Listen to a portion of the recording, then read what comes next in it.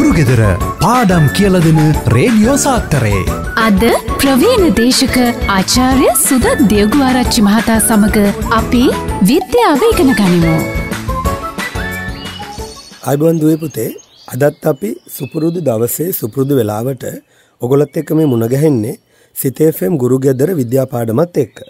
අපි මේ වෙනකොට දහය ශ්‍රේණියේ අපේ පාඩම් විද්‍යාපාඩම් විස්සක් තියෙනවා ඒ විස්සෙන් පාඩම් දාහතක් පාඩම් මාලාවත් එක්ක සීග්‍රව මතක් කරලයි තියෙන්නේ. අපි අද කතා කරන්න බලාපොරොත්තු වෙන්නේ 10 ශ්‍රේණිය 18 වෙනි පාඩම කාර්ය ශක්තිය ජවය කියන භෞතික විද්‍යා පාඩම. මුලින්ම අපි කතා කරොත් ශක්තිය ගැන. ශක්තිය කියලා අපි කියන්නේ කාර්යයක් කිරීමට ඇති හැකියාව. කාර්යයක් කිරීමට ඇති හැකියාවට කියන්නේ ශක්තිය කියලා. ශක්තිය ගණනය කරන ඒකකය තමයි ජූල්. ශක්තිය ගණනය කරන සමීකරණයක් තියෙනවා ශක්තිය සමානයි බලය ගුණ කිරීම බලය දිශාවට බලය ක්‍රියාකාරී ලක්ෂය සිදූ විස්ථාපනය. බලය ගුණ කිරීම බලය දිශාවට බලය ක්‍රියාකාරී ලක්ෂය සිදූ විස්ථාපනය. තර බලය මනින්නේ නිවටන් වලින් විස්ථාපනය මනින්නේ මීටර් වලින්. ඒ අනුව ශක්තිය ගණනය කරන්නේ නිවටන් මීටර් වලින් එමනත්තන් අපි කියනවා ජූල් වලින්. කාර්ය ගැන අපි කතා කරොත් එහෙම කාර්යයක් කියලා කියන්නේ බලයක් හේතුවෙන් බලයේ දිශාවට වස්තුවක් ගමන් කිරීම. බලයක් හේතුවෙන් බලයේ දිශාවට වස්තුවක් ගමන් කිරීමට අපි කියන්නේ කාර්යයක් කියලා. කාර්ය කිරීමේ හැකියාවට අපි කියන්නේ ශක්තිය කියලා. බලයක් හේතුවෙන් බලයේ දිශාවට වස්තුවක් ගමන් කිරීම කාර්යයක් වෙනවා. කාර්ය කිරීමේ හැකියාව ශක්තිය වෙනවා. කාර්ය ශක්තිය දෙකම ගණනය කරන්න පුළුවන් අර මම මුලින් කියපු සමීකරණය. ඒ කියන්නේ බලය ගුණ කිරීම බලයේ දිශාවට බලයේ ක්‍රියාකාරී ලක්ෂ්‍යය සිදුව විස්ථාපනය. කාර්ය ශක්තිය දෙකම ගණනය කරන ඒකකය වෙන්නේ නිවටන් මීටර් සමත එකකේ වන්නේ ජූල්.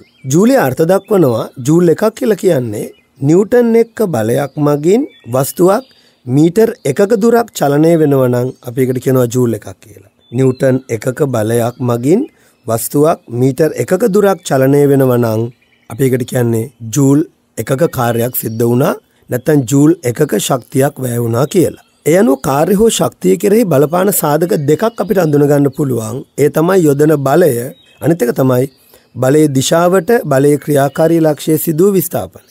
කාර්යයක් සිද්ධ වෙන්න නම් නැත්තම් ශක්තියක් වැය වෙන්න නම් බලයක් තියෙන්න ඕනි.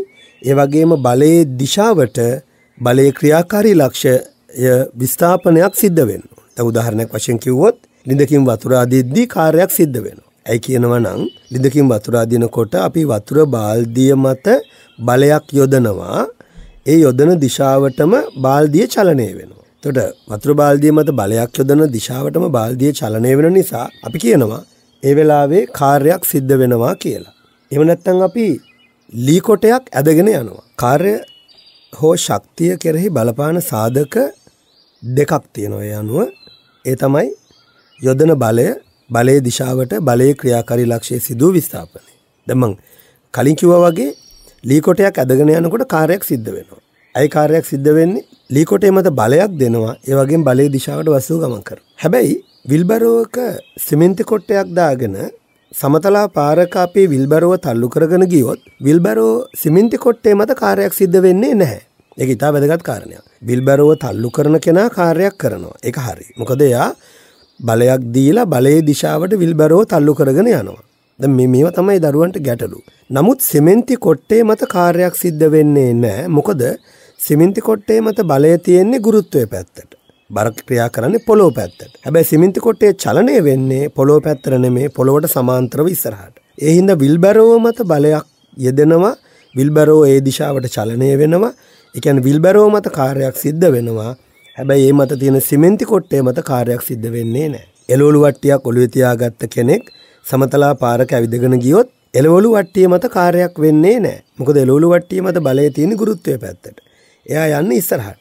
ඒතර එහෙමනම් එළවලු වට්ටිය මත කාර්යයක් සිද්ධ වෙන විදියක් නැහැ. මොකද බලය තියෙන ගුරුත්වය පැත්තට. හැබැයි මේ එළවලු වට්ටිය ඔළුව තියාගෙන ඉන්න කෙනා පඩිපෙලක් බැහැගෙන බැහැගෙන පහළට ගියොත් අන්න ඒ වෙලාවේ බලයේ තියෙන පැත්තට මෙයා ක්‍රමානුකූලව ගමන් කරනවා. ඒ කියන්නේ ඒ වෙලාවේ කාර්යයක් සිද්ධ වෙනවා. දුවේ පුතේ ශක්තිය ගැන කතා කරද්දී ශක්තිය විවිධ ආකාරවලින් තියෙනවා. ඒකෙන් එක ආකාරයක් තමයි යාන්ත්‍රික ශක්තිය. අපි මේ පාඩමේදී යාන්ත්‍රික ශක්තිය ආකාර දෙකක් ගැන කතා කරනවා. විභව ශක්තිය සහ චාලක ශක්තිය. අපි මුලින්ම විභව ශක්තිය කතා කරොත් විභව ශක්තිය කියලා කියන්නේ යම් වස්තුවක පිහිටීම අනුව හෝ වස්තුවක ස්වභාවික හැඩය වෙනස් වීම නිසා හෝ එහි ගබඩා වන ශක්තියට කියන විභෝ ශක්තිය. යම් වස්තුවක පිහිටීම අනුව හෝ එහි ස්වභාවික හැඩේ වෙනස්වීම නිසා හෝ ගබඩා වන ශක්තියට කියන විභෝ ශක්තිය. ඒ අනුව විභෝ ශක්තිය ආකාර දෙකක් තියෙනවා. එකට අපි කියනවා ගුරුත්වාකර්ෂණ විභෝ ශක්තිය. අනිත් එකට කියනවා ප්‍රත්‍යස්ත විභෝ ශක්තිය. අපි කියවනේ යම් වස්තුවක පිහිටීම අනුව හෝ හැඩේ වෙනස් වීම අනුව ගබඩා වෙන ශක්තිය විභෝ ශක්තියයි. පිහිටීම අනුව ගබඩා වෙන ශක්තියට තමයි ගුරුත්වාකර්ෂණ විභෝ ශක්තිය කියලා කියන්නේ. දැන් අපි හිතුවොත් එහෙම කන්දක් මුදුනේ තියෙන ගලකට තියෙන්නේ ගුරුත්වාකර්ෂණ විභෝ ශක්තිය. ගහක උඩ තියෙන ගෙඩියකට තියෙන්නේ ගුරුත්වාකර්ෂණ විභෝ ශක්තිය.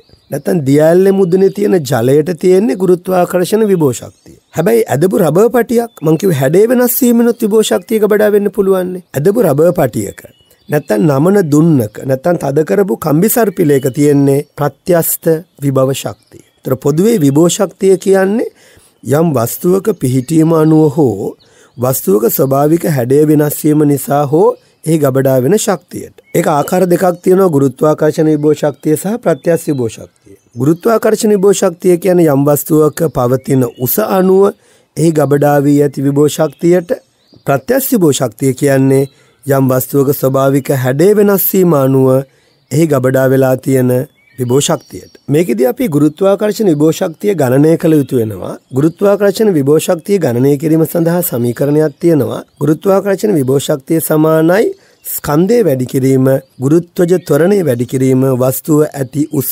එම නැත්තම් P සමානයි mgh. P කියන්නේ විභව ශක්තිය, m කියන්නේ ස්කන්ධය, g කියන්නේ ගුරුත්වජ ත්වරණය, H වස්තුව පිහිටන උස. ඒත් එක්කම අහන්න පුළුවන් ගුරුත්වාකර්ෂණ විභව ශක්තිය කෙරෙහි බලපාන සාධක මොනවාද?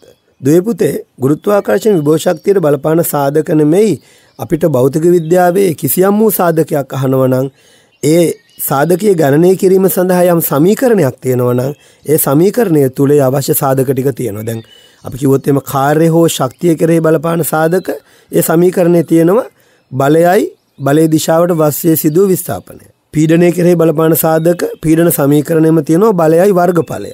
ඒ වගේ ගුරුත්වාකර්ෂණ විභව ශක්තිය කෙරෙහි බලපාන සාධකයේ සමීකරණෙම තියෙනවා ස්කන්ධය ගුරුත්වජ ත්වරණය සහ වස්තුව ඇති සිරස් උස. ඒ කියන්නේ MGH වස්තුවේ ස්කන්ධය ගුරුත්වජ ත්වරණය සහ වස්තුව පිහිටන උස අනුව වස්තුවේ විභව ශක්තිය වෙනස් වෙනවා. විභව ශක්තිය එදිනදා ජීවිතයේ පාවිච්චි වන අවස්ථා තියෙනවා ජල විදුලි බලාගාරයක විදුලිය නිපදවන්නේ ජලයේ තියෙන විභව ශක්තිය පාවිච්චි කරලා. ඉහළ ජලාශයේ ගබඩා වෙලා තියෙන ජලයට විභව ශක්තියක් තියෙනවා. ඒ විභව ශක්තිය ජලයේ පහළට ගලා එන්න සලස්වලා පත් කරනවා චාලක ශක්තිය බවට මේ චාලක ශක්තිය නිසා තලබඹරයක් කරකවලා තලබඹරයක් කරකවලා හදාගන්නවා විද්‍යුත් ශක්තිය.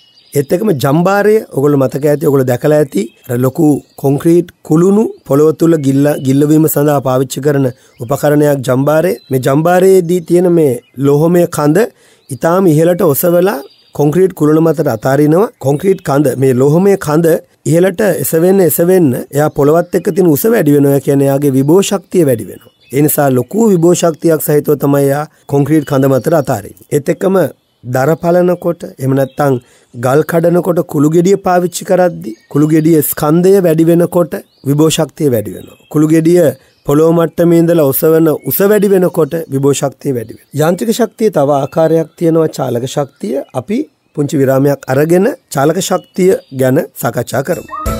ගුරුගෙදර පාඩම් කියල දෙන රේඩියෝ සාත්තරේ. අද ප්‍රවීණ දේශක ආචාර්ය සුදත් දෙයගුවාරච්චි මහතා සමඟ අපි විද්‍යාව ඉගෙන ගනිමු. දුවපුතේ අපි මේ ඔගොලොත් එක්ක සම්බන්ධ වෙලා ඉන්නේ සිතේෆම් ගුරුගෙදර විද්‍යා පාඩමත් එක්ක අපි මේ සාකච්ඡා කරමින් ඉන්නේ දහයි ශ්‍රේණිය දහ අටවෙනි ඒකකය කාර්යශක්තිය හා ජවය කියන පාඩම අපි විරාමයට කලින් කතා කරා කාර්ය ගැන ඒවගේම ශක්තිය ගැන ඒවගේම යාන්ත්‍රික ශක්තිය එක්කාකාරයක් වෙච්ච විභෝ ශක්තිය ගැන. අපි දැන් කතා කරනවා චාලක ශක්තිය ගැන. චලනය වන වස්තුවක් සතු ශක්තියට අපි කියන්නේ චාලක ශක්තිය. චලනය වන වස්තුවක් සතු ශක්තියට අපි කියන්නේ චාලක ශක්තිය. අපි කිව්වොත් එහෙම හමන සුළඟේ තියෙන චාලක ශක්තිය. ගලන ජලයේ තියෙන චාලක ශක්තිය. ගමන් ගන්නා මෝටර රථයක පියාඹන පක්ෂියෙකුට තියෙන්නේ චාලක ශක්තිය. චාලක ශක්තිය ගණනය කිරීම සඳහා සමීකරණයක් තියෙනවා. චාලක ශක්තිය සමානයි භාගය ගුණ කිරීම ස්කන්ධය ගුණ කිරීම ප්‍රවේගය වර්ගය. චාලක ශක්තිය සමානයි භාගයක් MV වර්ගය. M කියන්නේ ස්කන්ධය, V කියන්නේ velocity ප්‍රවේගය, ප්‍රවේගය වර්ගය. එතකොට චාලක ශක්තියට බලපාන සාධක ඒ සමීකරණය ඇතුළෙන් අපිට හම්බ වෙනවා. මොනවාද හම්බ වෙන සාධක? වස්තුවේ ස්කන්ධය සහ වස්තුවේ ප්‍රවේගය. වස්තුවේ ස්කන්ධය වස්තුවේ ප්‍රවේගය මත චාලක ශක්තිය වෙනස් වෙනවා. වස්තුවේ ස්කන්ධය සහ වස්තුවේ ප්‍රවේගය මත චාලක ශක්තිය වෙනස් වෙනවා. චාලක ශක්තිය විභව ශක්තිය දෙකම ශක්ති ප්‍රභේදයක් නිසා මේ දෙකම ගණනය කිරීමට අපි පාවිච්චි කරන ඒකකය වන්නේ ජූල් කියන ඒකකයමයි. ජූල් කියන ඒකකේ පාවිච්චි කරද්දි දරුවනේ සාමාන්‍යයෙන් අපි ජූල් පාවිච්චි කරනවා. හැබැයි විශාල ශක්තියක් ගණනය කිරීම සඳහා අපි කිලෝ ජූල් පාවිච්චි කරනවා. ඒ වගේම ඊටත් වඩා විශාල ශක්ති ගණනය කිරීම සඳහා අපි මෙගාජූල් වගේ එකකත් පාවිච්චි කරන්න පුළුවන්කම අපිට තියෙනවා. අපි ඊළඟට සාකච්ඡා කරනවා මේ පාඩම අපිට කතා කරන්න තියෙන මාතෘකාවක් ජවය හෙවත් ක්ෂමතාවය. මේ ක්ෂමතාවය කියන වචනයයි කාර්යක්ෂමතාවය කියන වචනයයි සමහර දරුවෝ පටලව ගන්න. අපි මේ කතා කරන්නේ ජවය හෙවත් ක්ෂමතාවය. ජවය හෙවත් ක්ෂමතාවය කියන්නේ දුවේ පුතේ කාර්ය කිරීමේ ශීඝ්‍රතාවය. එහෙම නැත්නම් ඒකක කාලයක් තුල සිදු කළ කාර්ය ප්‍රමාණය. කාර්ය කිරීමේ ශීඝ්‍රතාවය එහෙම නැත්නම් ඒකක කාලයක් තුල සිදු කළ කාර්ය ප්‍රමාණයට කියන්නේ ජවය හෙවත් ක්ෂමතාවය. ඒකක කාලයක් තුල සිදු කර කාර්ය ප්‍රමාණය නැත්නම් කාර්ය කිරීමේ ශීඝ්‍රතාවයට කියන්නේ ජවය හෙවත් ක්ෂමතාවය. ජවය හෙවත් ක්ෂමතාවය ගණනය කර කිරීම සඳහා සමීකරණයක් තියෙනවා. කෙරුණු කාර්ය බෙදීම ගත වූ කාලය. ජවය හෙවත් ක්ෂමතාවය සමානයි කෙරුණු කාර්ය බෙදීම ගත වූ කාලය. කෙරුණු කාර්යමණින්නේ ජූල් වලින් ගත වූ කාලය මනින්නේ තප්පර වලින්.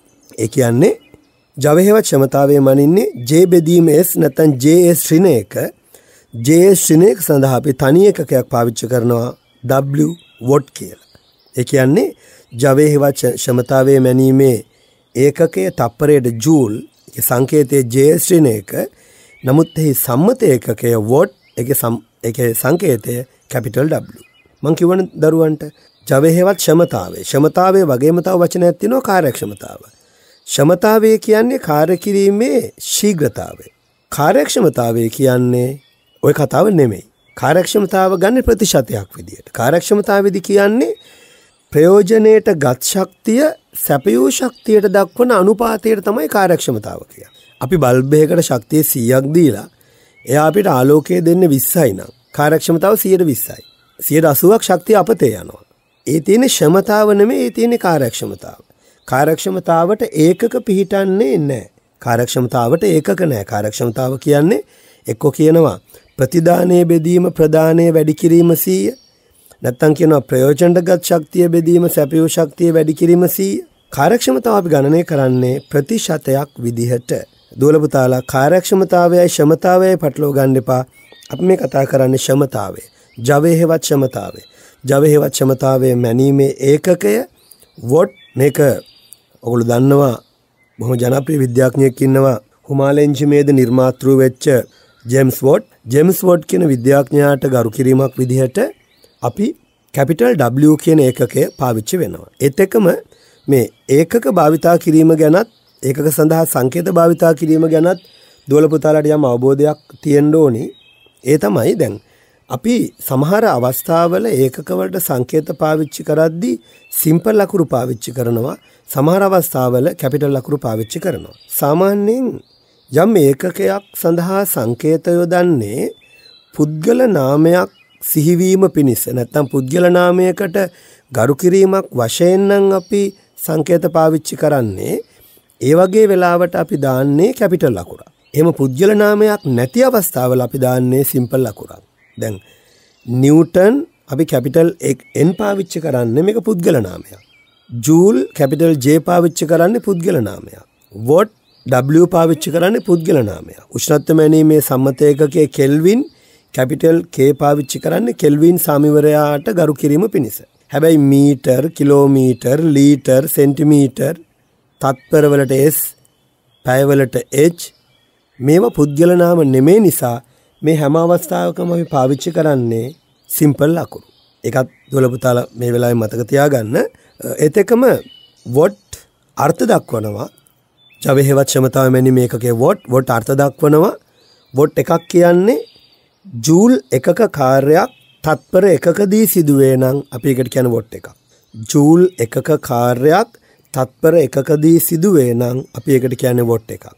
ජූල් එකක කාර්යයක් තත්පරයකදී සිදුවේ නම් අපි එකට කියන්නේ වොට් එකක්. තේරුම් ගන්න දුවේ පුතේ.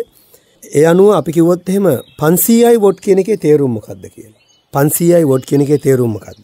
ඔගල ගාව කොලයක් පෑනක් තියෙනවා නම් ලියාගත්තට කමක් නැහැ. 500යි වොට් කියන්නේ 500යි JS ශ්‍රිණයක. ඒ කියන්නේ තප්පරයක් තුල ජූල් 500ක කාර්යයක් වෙනවා නම් ඒකට කියන්නේ වොට් එකයි. එක තප්පරයක් තුල ජූල් 500 කාර්යයක් වෙනවා. එකක් KWH එකක් KWH කියන්නේ එකක් කිලෝවොට් එකක් KW එකක් KW කියන්නේ මොකක්ද? එකක් KW කියන්නේ 1000ක් W 1000ක් වොට් 1000ක් වොට් කියන්නේ 1000ක් JS ශ්‍රේණයක. මම නැවත කියන්නම් එකයි KW කියන එකේ තේරුම මොකක්ද ඇහුවොත් එකයි කිලෝවොට් කියන්නේ 1000යි වොට් කියන එකනේ. 1000යි වොට් කියන්නේ 1000යි JS ශ්‍රේණයක. ඒ කියන්නේ තප්පරයට ජූල් 1000ක්. තප්පරයක් තුල ජූල් 1000ක කාර්යයක් වෙනවා නම් අපි එකට කියන්නේ එකයි කිලෝවොට් කියලා. ඒත් එක්කම බොහොම ජනප්‍රිය එකක් අහනවා කිලෝවොට් පැයක් කියන්නේ මොකක්ද? කිලෝවොට් පැයක්. දැන් මේක වෙන වෙනම ගන්නකො කිලෝවොට් පැයක්. කිලෝවොට් කියන්නේ වොට් 1000ක්. වොට් 1000ක් පැයක්. දැන් හිතන්නකෝ ගෙදර තියනවා කියලා විදුලි ස්ථිරකයක් වොට් 1000ක්. ඔයගොල්ලෝ දැකලා ඇති විදුලි උපකරණවල වොට් අගයක් සඳහන් වෙනවා. හීටරේ වොට් අගයක් තියෙනවා. දැන් ශීතකරණේ වොට් අගයක් තියෙනවා. විදුලි ස්ථිරකයේ වොට් අගයක් තියෙනවා. අපි හිතමු වොට් 1000ක විදුලි ස්ථිරකයක් තියෙනවා ගෙදර. මේ විදුලි ස්ථිරකය පාවිච්චි කරලා අපි හරියටම පැයක් තිස්සේ රෙදි මදිනවා කියලා හිතමු. එහෙම නැත්නම් අපි වොට් 1000ක ගිල්ලුම් තාපකයක් හීටර් එකක් පාවිච්චි කරලා පැයක් තිස්සේ වතුර උණු කරනවා කියලා අපි හිතමු. අන්න වොට් 1000ක උපකරණයක් පැයක් ක්‍රියාත්මක වීමේදී වැයවන ශක්තියට කියන්නේ කිලෝවොට් පැයක්.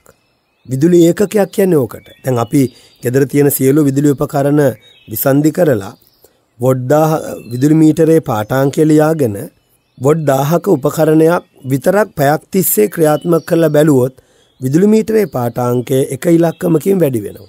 අපේ විදුලි මීටර නැත්නම් විදුලි මණුවේ විදුලි ඒකක මනින්නේ කිලෝවොට් පැය වලින් කිලෝවොට් පැයක් කියන්නේ වොට් 1000ක උපකරණයක් පැයක් තිස්සේ භාවිතා කළාම වැය වෙන විදුලි ඒකක ගණන. නැත්නම් ශක්ති ප්‍රමාණය. ඒතර මේක ජූල් වලට හරවන්නත් පුළුවන්. සාමාන්‍යයෙන් කිලෝවොට් දැන් විදුලි ඒකක නම් භාවිතා වන විදුලි ඒකක නම් කෙලින්ම මනින්නේ කිලෝවොට් පැය වලින්මයි. මේ කිලෝවොට් පැය කියන එක ජූල් වලට හරවන්න පුළුවන්. ඒ හරවන්නේ කොහොමද? කිලෝවොට් එකක් කියන්නේ වොට් 1000ක්, පැයක් කියන්නේ තප්පර 3600. එතකොට කිලෝවොට් එකක් කියන්නේ වොට් 1000ක්. වොට් 1000ක් කියන්නේ තප්පරයට ජූල් 1000ක්. ඒතර තප්පරයට ජූල් 1000ක් වැඩ කරන උපකරණයක් පැයක් තිස්සේ කියන්නේ තප්පර 3600ක්.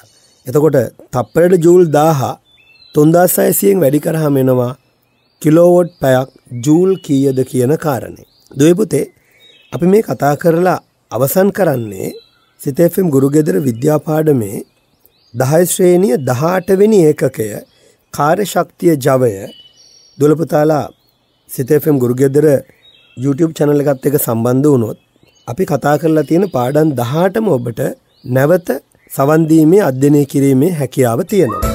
ගුරුගෙදර පාඩම් කියල දෙන රේඩියෝ සාත්තරේ. අද ප්‍රවීණ දේශක ආචාර්ය සුදත් දෙයගුවාරච්චි මහතා සමඟ අපි විද්‍යාව ඉගෙන ගනිමු. ආදරණීය දුවේ පුතේ අපි මාස කීපයක් තිස්සේ සිතේෆම් ගුරු ගෙදර විද්‍යා පාඩමත් එක්ක මේ වෙලාවට මුණ ගැහුණා. අපි මේ කාල සීමාව ඇතුලේ ඔයගොල්ලොත් එක්ක 10 ශ්‍රේණියේ පාඩම් 20න් 18ක් විතර සීග්‍රයෙන් මතක් කරගෙන ගියා. එතකොට තව අපිට 10 ශ්‍රේණියේ පාඩම් දෙකක ඉතුරුවක් තියෙනවා. නමුත් ඔයගොල්ලෝ දන්නවා විභාගයේ දැන් අතගාවට ඇවිල්ලා තියෙනවා.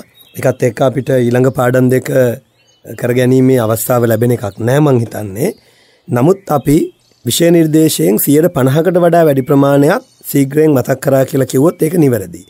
අපි විශ්වාස කරනවා මේ මේ මේ පාර ඔයගොල්ලන්ගේ ඕලෙවල් විභාගයේ වැඩි ප්‍රශ්න ප්‍රමාණයක් 10 ශ්‍රේණියේ පොතට බර වෙයි. මොකද ඔයගොල්ලෝ දන්නවා මේ කොරෝනා ප්‍රශ්නෙත් එක්ක. ඔයගොල්ලෝ 2020 අවුරුද්දේ ඔයගලන්ට ඉස්කෝලේ යන්න හම්බුනේ පන්තියන්න හම්බුනේ. ඇතරම පන්තිනං මංහිතන ඔගොල්ලෝ යන්න ඇති ගුරුරු ගාවට උපකාරක පන්ති ගිය අය. දෙසැම්බර් ජනවාරි පෙබරවාරි කියලා මාස තුනක්. නම තොගලන් ස්කොලයන් හම්බුනේ ජනවාරි පෙබරවාරි මාස දෙක විතරයි. ටවස මාර්තු එකොළහ දොළහ වෙද්දි පාසල් වැැහුණ. ඉටවස්සේ මාර්තු අප්‍රේල් මැයි ජුනි ජූලි වගේ පහුවෙලා තමයි නැවත ස්කෝල පටන් ගත්තේ. එකලත් ආපව මාස තුනක වගේ කාලයක් තමයි ඔගලන් ඉගෙන ගන්න ලැබුණේ. ඉතින් එකත් එක්ක එකොළහේ වැඩ කටයුතු ලොකු ප්‍රමාණයක් දෝලපුතාලට ආවරණය වෙලත් නෑ ඉතින් අපි විශ්වාස කරනවා සහ අපි යෝජනා කරනවා ඒ අදාළ බලධාරීන්ට දහශ්‍රේණියයට වැඩි බරක් තියන්න. මොකද දරුවෝ දහශ්‍රේණිය ටික හොඳට කරගෙන තියෙන්නේ. මොකද අපි දස් දහනමය අවුරුද්ධ අපිට එතරම් ලොකු ප්‍රශ්නයක් අපිට ආවි නැති නිසා අපි පාසල්වල සහ ඔබ උපකාරක පන්තිවලට සහභාගි වෙනවා නම් ඒ පන්තිවල දෙදස් දහනමේ අවුරුද්ධ ඔබට දහයි පන්ති වැඩ ටික ඉතාම හොඳට කරලා තියෙන හින්දා අපි යෝජනා කරන්නේ ඒ කොටසට වැඩි බරක් තියලා ප්‍රශ්පත්තරේ සූදානම් කරන්න කියලා. ඉතින් ඔයගලන්ටත් කොහොමත් එහෙම වුණා නොවුණා විද්‍යා විෂය නිර්දේශය ඇතුලේ සාමාන්‍ය ලකුණු වලින් 60කට ආසන්න ප්‍රමාණයක් ලැබෙන 10 පොතේ.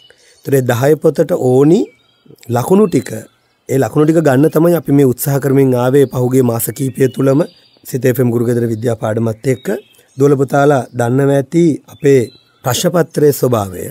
ප්‍රශ්නපත්‍රයට තියෙන්නේ බහුවර්ණ ප්‍රශ්න 40ක් මේ ප්‍රශ්න 40ට ලකුණු ඇත්තටම එක බැගින් ලැබෙන්නේ ලකුණු 40ක් ලකුණු දෙක බැගින් දීලා පස්සේ එක දෙකට බෙදනවා. එහෙනම් එක බැගින් ලැබෙන ලකුණු 40ක් සාමාන්‍යයෙන් අනිත් විෂයන්ට සාපේක්ෂව බහුවර්ණ ප්‍රශ්නපත්‍රයෙන් එස් සාමාර්ථයක් ලබා ගන්න පුළුවන් විද්‍යා විෂය පේපර් එක බහුවර්ණ ප්‍රශ්නපත්‍රය හරියට කරගත්තොත් මම දන්න සමහර විෂයන් තියෙනවා පළවෙනි ප්‍රශ්නපත්‍රයේ විතරක් කරගත්තට එස් සාමාර්ථයකට යන්න අමාරුයි. නමුත් විද්‍යා විෂයේ පළවෙනි ප්‍රශ්නපත්‍රයේ ප්‍රශ්න 40න් 35ක් හෝ ඊට වැඩි ප්‍රමාණයක් කරගත්තොත් ඔබට එස් සාමාර්ථයක් ඉස්සෙල්ලාම තියෙනවා. පළවෙනි ප්‍රශ්නපත්‍රයේ එස් සාමාර්ථයක් ලබා ගන්න පුළුවන් දරුවෙකුට දෙවෙනි ප්‍රශ්නපත්‍රයේ ඉතුරු ලකුණු ටිකෙන් ඒ සාමාර්ථයකට යන්න ඉතාම ලේසි. පළවෙනි ප්‍රශ්නපත්‍රය ඉතාම තීරණාත්මකයි. ඉතින් ඒ නිසා දුවේ පුතේ මේ ඉතිරි වෙලා තියෙන දවස් කීපය තුල දැන් ඕගොල්ලෝ පුළුවන් තරම් ප්‍රශ්නපත්‍රවලට උත්තර ලිවීමට පෙළඹෙන්න. මේ වෙලාවෙත් දැන් කවුරු හරි කෙනෙක් තාමත් පොත්පත් පාඩම් කරනවා නම් මම විද්‍යා විෂය සම්බන්ධයෙන් කියන්නේ මේ වෙලාවේ පාඩම් කරනවා කියන එක තරම්ම හොඳ වැඩක් නෙමෙයි. මොකද ඒකට හේතුව ඔබ පාඩම් කරන්නේ එක පාඩමක් නැත්නම් දෙකක්. එමත් නැත්නම් ඔබ පාඩම් කරන්නේ ගොඩක් වෙලාවට ඔබ කැමතිම පාඩම. පාඩම් කරාම ගොඩක් වලට කැමතිම පාඩම කැමතිම විෂය කැමතිම පාඩම තමයි ඔබ හැම වෙලේම පොත අතේ තියාගෙන ඉන්නේ පාඩම් කරනකොට. ඒතර එහෙම වෙන්නේ නැතුව මේ වෙලාවේ දවසකට අඩුම ගානේ විෂයන් තුනකවත් ප්‍රශ්නපත්‍ර ලියා ගන්න පුළුවන්. ඒ ප්‍රශ්නපත්‍ර ලියද්දී බැරි වෙන ඕනම කරුණක් පොත බලලා ලිව්වට කිසිම වැරද්දක් නැහැ මේ මොහොතේ.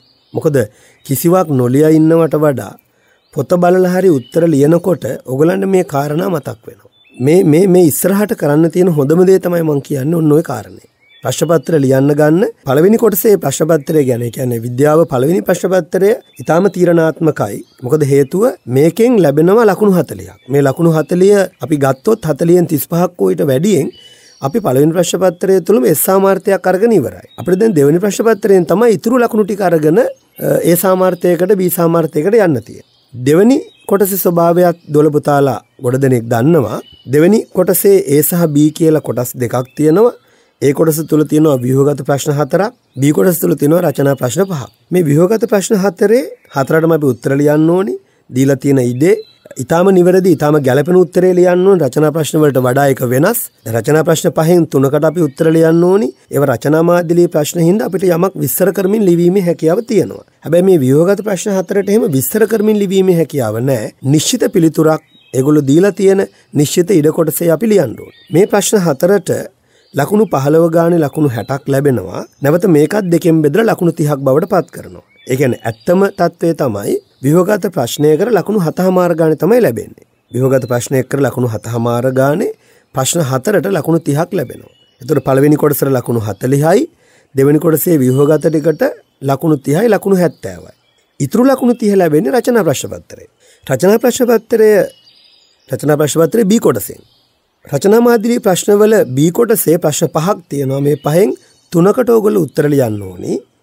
මේ තුනෙන් එක ප්‍රශ්නයකට ලකුණු විස්ස ගානේ ප්‍රශ්තුනට ලකුණු හැටක් ලැබෙනවා නමුත් පස්සෙ එක දෙකෙන් බෙදනවා එතකොට අවසාන වශයෙන් එක ප්‍රශ්නයකට ලකුණු දහයයි ලැබෙන්නේ.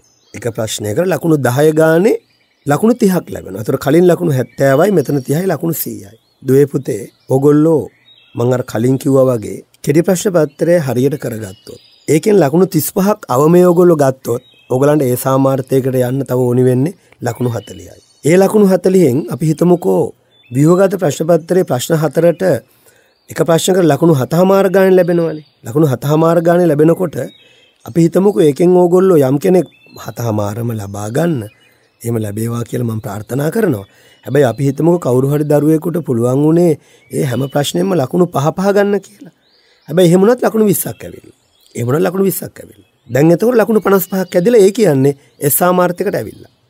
කෙටි ප්‍රශ්නපත්‍රයේ බහුවරණ ප්‍රශ්නපත්‍රයේ ප්‍රශ්න තිස් පහකට උඩිය උඩින් නිවැරදිව ලකුණු කරගත දරුවෙකුට එතනම සාමාර්ථයක් ඇවිල්ලා.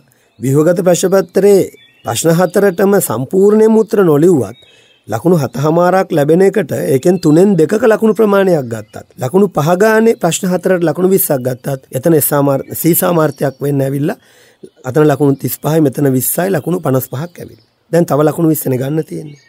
ඔය ලකුණු විස්ස ගන්න තියෙනවා ලකුණු දහය ප්‍රශ්න හතරක් ලකුණු දහය ප්‍රශ්න හතරක් තියෙනවා. එතකොට ලකුණු දහය ප්‍රශ්න තුනක් තියෙනවා ලකුණු දහය ප්‍රශ්න තුනක් තියෙනවා. තොර මේ ලකුණු දහය ප්‍රශ්න තුනෙන් අපි හිතුවොත් ඕගොල්ලෝ මේ ප්‍රශ්න තුනටම ලකුණු දහයම නෙමේ ලකුණු හතගානෙ තුනක් ගත්ත කියලා. ලකුණු හතගානෙ තුනක් ගත්තත් එතන ලකුණු විසි එකක් ඇවිල්. එතොර මම මේ කියන්නේ දුවල පුතාලාට ලකුණු හතගාන ගන්න කියන කාරණය නෙමෙයි.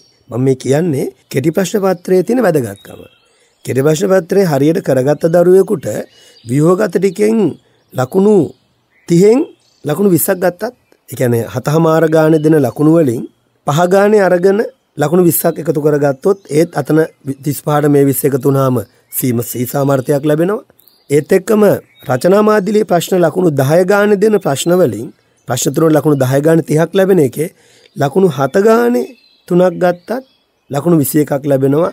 අතනව 55ට මෙතන අප 21 එකතුනාම ලකුණු 70ක් ලැබෙනවා. ඔබ ඒ සාමාර්ථයකට ඇවිල්ලා. ඉතින් ඒ නිසා ඒ සාමාර්ථයක් කරා යන දරුවෙකුට ඊටාම තීරණාත්මක කොටසක් තමයි බහුවරණ පශ්චපත්. ඉතින් දුවේ පුතේ මේ ඉස්සරහට තියෙන දවස් කීපය තුල ඔයගොල්ලෝ පොත් පෙරලගෙන විෂයෙන් විෂය ඒකගෙන් ඒකගේ පාඩම් කරනවා වෙනුවට මම යෝජනා කරන්න මේ වෙලාවේ හොඳම ක්‍රමවේදය තමයි පුළුවන් තරම් Tamanට පුළුවන් ප්‍රශ්න ටික අරගෙන ඉස්සලා ලියන්න. ප්‍රශ්නපත්‍ර ගන්න දවසට ප්‍රශ්නපත්‍ර තුනක්වත් ලියන්න අඩුම ගානේ.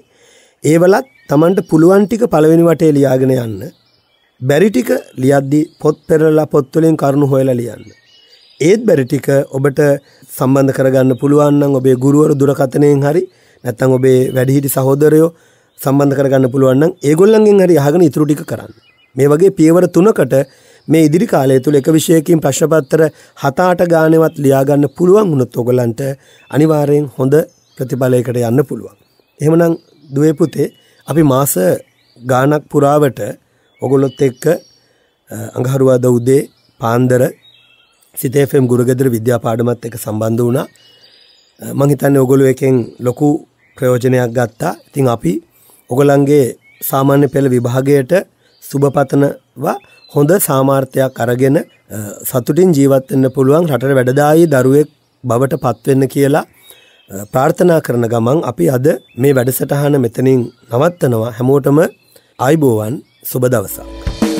ගුරුගෙදර පාඩම් කියල දෙන රේඩියෝ සාත්තරයේ